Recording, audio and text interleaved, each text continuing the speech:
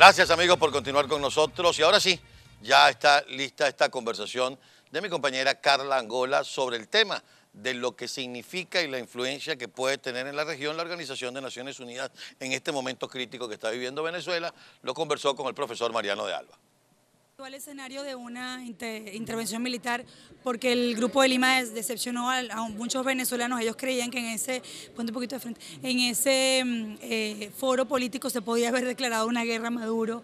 Eh, ¿Estados Unidos lo, descarta o no lo descarta? ¿O lo descarta ahora, en este momento preciso? No, yo creo que Estados Unidos en este momento lo descarta. Sin duda alguna lo del Grupo de Lima también le mete mucha presión al gobierno de Estados Unidos porque yo no veo al gobierno de Estados Unidos haciendo algo eh, sin al menos la aceptación tácita de los, de los gobiernos latinoamericanos. Eh, y, lo, y, lo que, y lo que los venezolanos tenemos que estar claros es que hay una gran presión internacional, diplomática y económica, que además va a seguir creciendo eh, y que al final también los venezolanos tenemos que seguir en la calle, tenemos que seguir movilizados, tenemos que organizarlo, no solamente para, para lograr el cese de la usurpación, sino para lo que viene después. Hay un trabajo que los venezolanos todavía tenemos que alcanzar. Y por otro lado, es verdad que ahorita no está planteada en las actuales circunstancias, pero hay circunstancias en las cuales yo sí veo probable que los países de la región se, planteen una opción de ese tipo. ¿Cuál sería esa? Un, ejemplo muy concreto que, yo creo es, por ejemplo, un escenario donde eh, el régimen de facto de Nicolás Maduro, por ejemplo, ataque eh, a una embajada, ataque a funcionarios diplomáticos, por lo tanto, esta situación de los diplomáticos eh, recibiendo a Guaidó, poniéndose en, situaciones bastante tensas, es bastante peligroso para el régimen.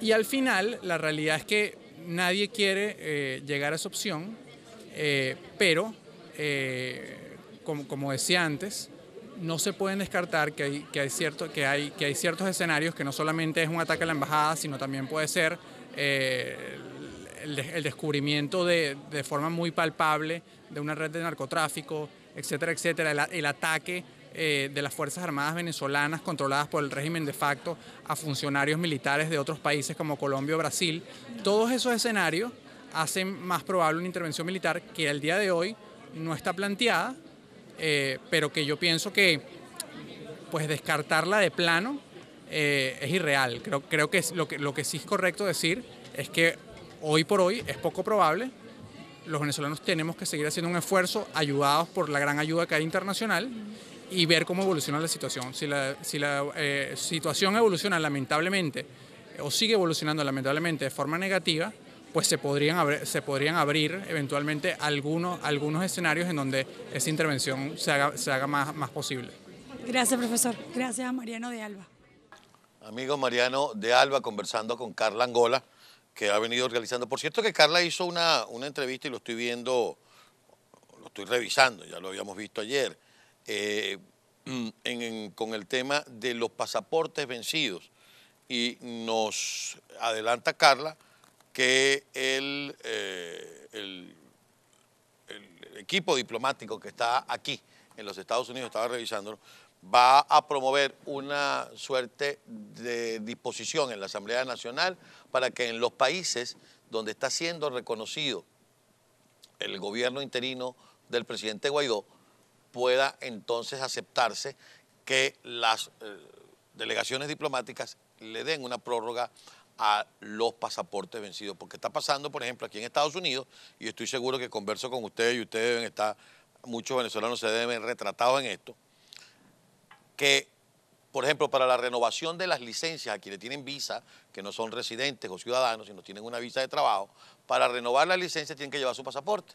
Y si el pasaporte está vencido, entonces le aceptan una sola prórroga de la licencia. Es decir, se le complica todo el tema de la documentación. Y el gobierno interino ya está tomando cartas en el asunto y al parecer se va a producir una suerte de disposición o ley en la Asamblea que autorice a las delegaciones diplomáticas nombradas por el presidente Guaidó que en los países donde estas delegaciones diplomáticas han sido reconocidas, validar los pasaportes. Así que lo que hay que tener es un poco de paciencia. Esto ya, por ejemplo, el embajador Calderón Berti de eh, Venezuela en Colombia, el embajador Carlos Vecchio, están trabajando en eso. Y muy pronto quienes tienen el pasaporte venezolano vencido van a poder lograr por lo menos una prórroga mientras se produce lo que todos esperamos, que es el cese de la usurpación con el cese de la usurpación, cuando ya pueda haber un control serio y honesto. Por cierto, que el embajador Carlos Vecchio, y también lo, lo puso en su cuenta Instagram, está denunciando y usted no caiga de incauto. Y esto es importantísimo. No vaya a caer usted en una de las trampas que le ponen, porque como no tienen recursos, porque los recursos están siendo bloqueados en diferentes bancos, porque no se van a seguir robando el dinero de los venezolanos, están otorgando citas consulares y, por supuesto, cobrando por esas citas consulares. A pesar de que el propio régimen suspendió todas las actividades consulares en los Estados Unidos, ellos, ellos te aceptan a través de internet que hagas la cita y te piden el cobro. O sea, no caiga usted en la trampa, porque le van a quitar sus reales y no le van a hacer nada. Vamos a tener un poquito de paciencia. Ya tenemos a, a nuestro invitado. Bueno, le quiero dar las gracias. Hace mucho rato que no conversamos y para mí es un verdadero gusto y un privilegio recibir en el programa a John Goicochea. Ya lo vamos a tener en cámara de EBTV, en pantalla de EBTV, lo vamos a ahí lo tenemos. De verdad que para mí es muy grato, después de mucho tiempo, poder conversar contigo. Recibe un gran abrazo y la bienvenida a nuestro programa, John. Carlos, qué gusto saludarte. Imagínate, cuántos años, por lo menos, no sé, 10 años que no nos hablamos. No se ponga usted a sacar cuenta, porque usted sigue chamo, pero ya yo estoy cada vez más calvo, más gordo y más viejo. No tanto, mano, ya yo crezco para los lados y tengo canas y más nada. Qué gusto poder saludarte. Sabes que haciendo, y nos disculpa la audiencia, lo coloquial de la conversación, haciendo memoria hace poco con toda esta generación de jóvenes en las que incluyo al presidente Guaidó, recuerdo que ah, hicimos en los últimos años en que estuvimos trabajando en Venezuela, muchísimos programas con la mejor clase que tenía en ese momento nuestro país, que era la clase estudiantil, que era el futuro de Venezuela. Y fíjate que no nos equivocamos. Todos ustedes hoy están conduciendo, acompañados de los políticos de mayor experiencia, están haciendo esta ruta, este camino que nos va a sacar de esta pesadilla y eso lo aplaudimos y lo agradecemos, John. Muchas gracias. Nosotros también aplaudimos y agradecemos el, apoyo que hemos recibido.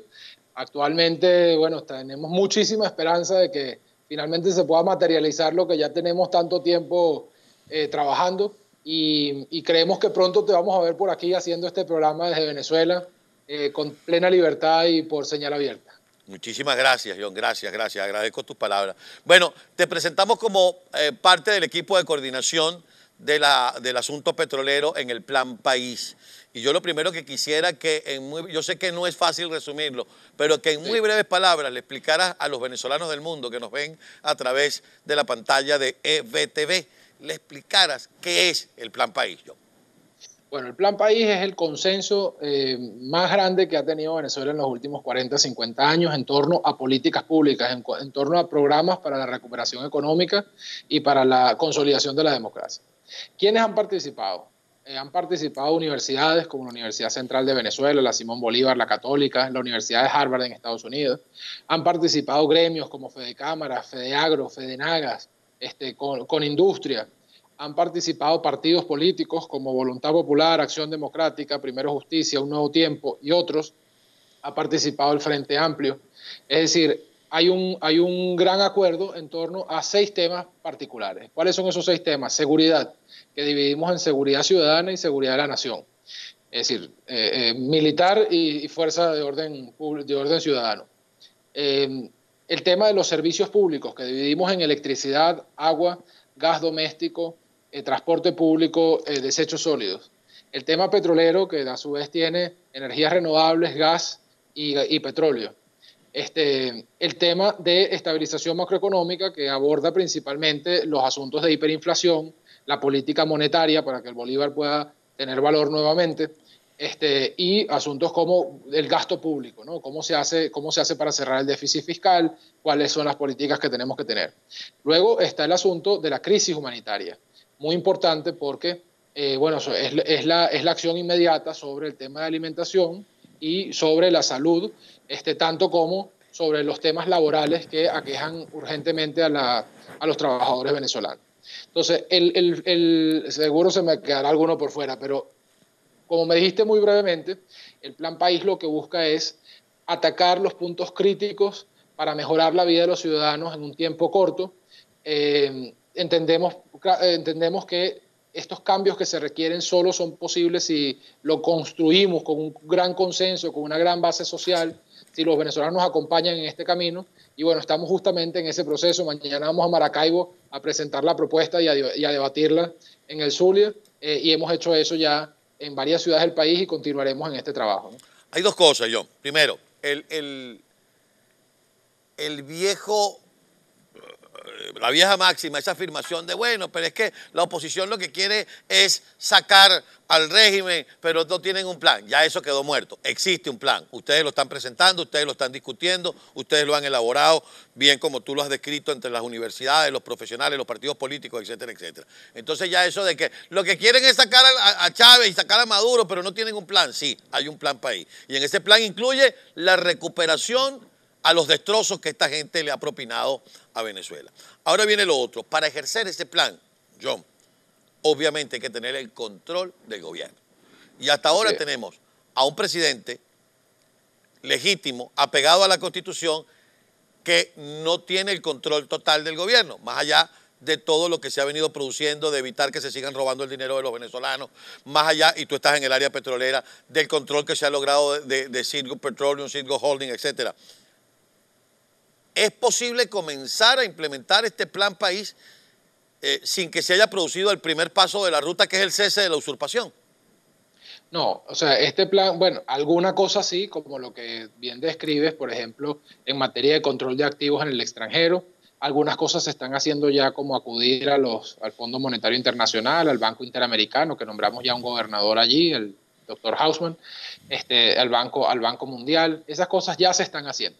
Es decir, todo lo que podemos ir adelantando lo estamos adelantando con el objetivo que cuando tomemos el control efectivo del gobierno, entonces podamos producir los cambios lo más rápido posible y que la gente sienta el cambio, eh, digamos, en sus vidas, ¿no? materialmente hablando. Ahora, evidentemente, esto es un plan hecho para un nuevo gobierno. Esto no es un plan hecho para arreglar el problema estando maduro por una razón simple, porque es que no se puede arreglar si está maduro. Es decir, la única manera de arreglar los problemas de Venezuela es con la democracia. A Maduro no le van a prestar el dinero que se requiere, ni que tenga el mejor plan, porque quien se ha robado 1.5 trillones de dólares no va a hacer menos con 100 mil que le presten. Entonces, eh, eh, al tener una falta de confianza sobre su gobierno y sobre su misma persona, Maduro es incapaz de poder solucionar el problema de Venezuela, que implica necesariamente un crédito internacional, o mejor dicho, varios créditos internacionales de organismos multilaterales.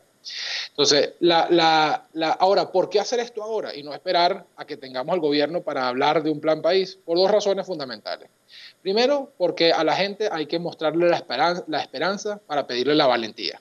Es decir, nosotros le decimos a los venezolanos que sean valientes, que resistan, que vayan a la calle, este, que, hagan lo que puedan por, Venezuela, no por nada, sino porque hay una Venezuela mejor esperándonos después de ese, de ese, de ese cambio de gobierno.